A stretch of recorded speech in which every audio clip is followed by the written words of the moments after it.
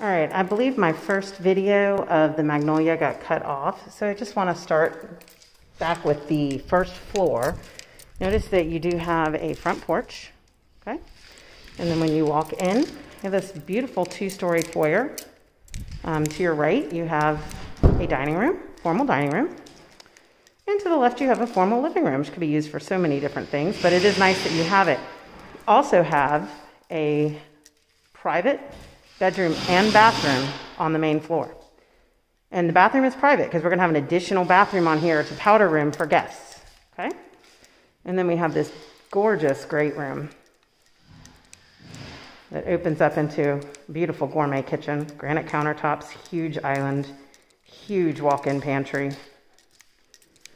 This is your powder room right here. This is your walk-in pantry. It's it's a lot bigger than you can see on video. Maybe I'll walk all the way in and turn around and show you guys how big it is. Yeah. It's gorgeous kitchen. Nice window that'll be right over the sink.